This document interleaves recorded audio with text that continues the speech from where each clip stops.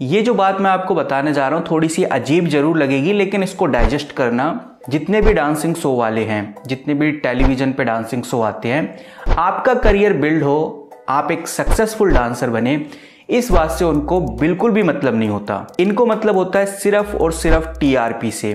ये लोग अपना सॉन्ग लॉन्च कर रहे हैं तो ये चाहते हैं कि हमारे शो को देखने वाले लाखों करोड़ों लोग हों। बस वो यही चाहते हैं कि टीआरपी बरकरार रहे, लाखों करोड़ों लोग हमारे शो को देखें। अगर हम कोई शो लॉन्च कर रहे हैं तो वो हिट हो। अब वो हिट कैसे होगा? वो होगा कंटेस्टेंट की वजह से। किस कंटेस्टेंट को लिया जाए ताकि वो शो के अंदर जान डाल सके? और एक नॉर्मल डांसर सिर्फ़ ये सोचता रहता है कि मुझे अपना करियर बनाना है, इसलिए मैं उस शो में जाना चाहता हूँ। मुझे एक सक्सेसफुल डांसर बनना है, इसलिए मैं उस शो में जाना चाहता हूँ। सिर्फ़ इतना सोचना आपका सिलेक्शन नहीं करा सकता।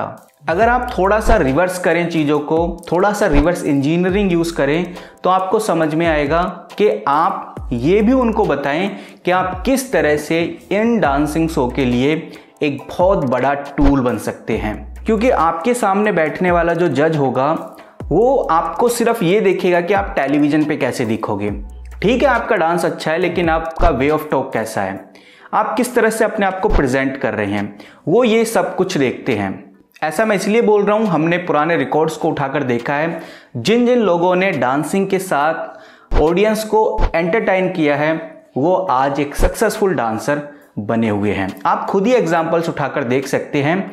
जो लोग सिर्फ़ डांसिंग में ही रहे, उनको आज लोगों ने भुला दिया है। एक छोटा सा एग्ज़ाम्पल आपको बताऊँगा। राघव जुइल का नाम आपने सुना होगा। वो आज भी डांसिंग फ़ील्ड में काफ़ी अच्छा कर रहे हैं। अब इसके पीछे एक वजह तो ये है कि उनका डांस भी काफ़ी यूनिक था, काफ़ी अच्छा था। लेकिन जो दूसरा सबसे बड़ा फैक्टर आया कि वो एक काफ़ी अच्छी कॉमेडी भी कर लेते हैं। तो बस एक डांसिंग शो को यही चाहिए कि आप थोड़ा बहुत एक्स्ट्रा एफर्ट भी उनके साथ लगाएँ। तो आप कैसे जजेस के सामने ये दिखा पाओगे, अपने आप को रिप्रेजेंट कर पाओगे कि आपके अंदर भी वो पोटेंशियल है? आप भी टेलीविज़न स्क्रीन पे झंडे गाड़ सकते हो, आप भी शो के अंदर जान डाल सकते हो, ये आप कैसे दिखा सकते हो? अभी ऑनलाइन ऑडिशन आने वाले हैं इंडियाज बेस्ट डांसर के, कल से स्टार्ट हो जाएँगे सोनी लिव एप्लीकेशन के ऊपर। मैं आपको बताऊँगा कैसे आपको फॉर्म फिल करना है। हालाँकि मैंने ऑलरेडी वीडियो में बताया हुआ है बट यहाँ पर ये पूरा जो ऑनलाइन ऑडिशन है, लगभग एक महीने तक चलेगा। 22 जनवरी से स्टार्ट होंगे और 18 फरवरी तक आपके चलने वाले हैं। तो जल्दबाजी में कुछ भी अपलोड करने की ज़रूरत नहीं है। क्योंकि आपको ये प्रूफ करना होगा कि आप टेलीविज़न के लिए इलिजिबल हैं। आप टेलीविज़न पे काफ़ी अच्छा कर सकते हैं। इसके लिए आपको अपने डांसिंग स्किल पे थोड़ा सा काम करना है, क्योंकि आप बिना कैमरा के तो काफ़ी अच्छा कर लेते हैं। जब आपके आगे कैमरा रखा जाता है या आपकी वीडियो को शूट किया जाता है तो उसके अंदर बहुत सारी गलतियाँ होती हैं। इन गलतियों का आपको ध्यान देना है। अब ऑनलाइन रजिस्ट्रेशन आप फॉर्म फिल करेंगे तो दो वीडियोस तो आपको बनानी पड़ेंगी डिफरेंट डिफरेंट डांसिंग स्टाइल में। और डिफरेंट डिफरेंट डांसिंग स्टाइल आपको ऐसी करनी है कि वो बस आपको सेकंड राउंड के लिए बुला ले। बात करें सेकंड राउंड की, जैसे ही आप सेकंड राउंड में पहुँच जाएँगे। अब ये तो कंफर्म है कि आपका डांस उनको पसंद आया, इसलिए आपको सेकंड राउंड में बुलाया गया है। लेकिन सेकंड राउंड में आप ये मत सोचिए कि आपका फिर से डांस देखेंगे।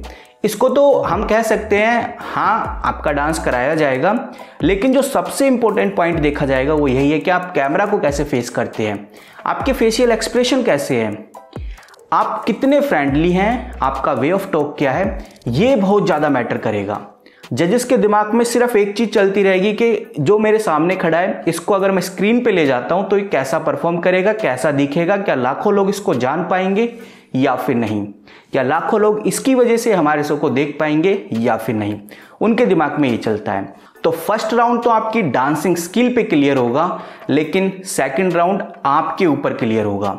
आपकी डांसिंग स्किल तो उन्होंने देख ली फ़र्स्ट राउंड में, लेकिन सेकंड राउंड में आपको यही प्रूव करना होगा कि आप क्या चीज़ हैं? आप किस तरह से लोगों को जोड़कर रख सकते हैं? लोग आपको देखने के लिए मजबूर हो जाएँगे कि आपके अंदर ऐसी क्या काबिलियत है।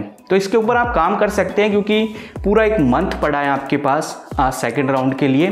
फ़र्स्ट राउंड के लिए आपको दो वीडियो डालनी है डिफरेंट डिफरेंट डांसिंग स्टाइल में। और वो डांसिंग स्टाइल इतनी यूनिक होनी चाहिए इतनी ज़बरदस्त होनी चाहिए कि आपको सेकेंड राउंड में तुरंत बुला लिया जाए। तो बस गाइस जल्दीबाजी में फॉर्म को फिल बिल्कुल मत करना। ये सोचो कि यार, जल्दी जल्दी से फॉर्म फिल करते हैं, हमारा काम हट गया है। इन्होंने जो बोला वो हमने दे दिया है। अब सिलेक्शन होगा तो ठीक है, नहीं होगा तो भी ठीक है। ये सोच के चलोगे तो फिर नहीं होगा। ये सोच के चलो कि मुझे सिलेक्शन लेना है सेकंड राउंड तक पहुँचना है। ऐसा मैं क्या बनाऊँ? किस तरह से मैं डांसिंग करूँ? ऐसे दो डिफरेंट डांसिंग स्टाइल क्या दिखाऊँ उनको ताकि वो मुझे 101 परसेंट सेलेक्ट करें सेकेंड राउंड के लिए। ये चीज़ आपको ध्यान देनी है। बाकी तो सब आपके प्रैक्टिस के ऊपर है। आपके ऊपर है कि आप कैसा परफॉर्म करते हैं।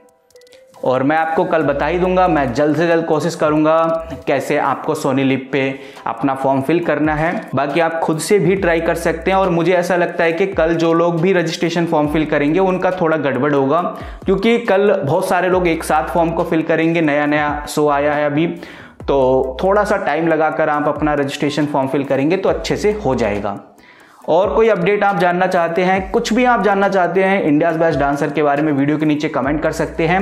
अगर वैसे तो मैंने इसके ऊपर डेडिकेटेड समझा रखा है कि किन किन चीज़ों का ध्यान रखना है कैसे कैसे आपको ध्यान रखना है। अगर आपने वो वीडियो नहीं देखी तो एक बार ये वाली वीडियो ना ज़रूर चेकआउट कीजिए, ताकि आपके सभी डाउट क्लियर हो जाए। मिलते हैं किसी नई वीडियो के साथ, किसी नई अपडेट के साथ। तब तक के लिए take care and good bye